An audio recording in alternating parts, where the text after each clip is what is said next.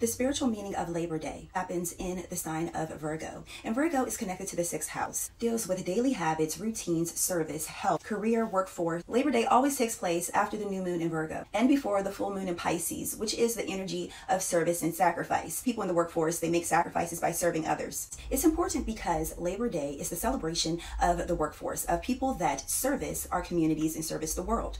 Labor Day happens during the last days of summer, opportunity to refocus our lives, to reorganize our daily habits before the fall equinox, a great opportunity to get our outside tasks completed before we go inward. Gemini and Virgo are both ruled by Mercury. With Virgo, Mercury focuses on the earthy aspects of this planet.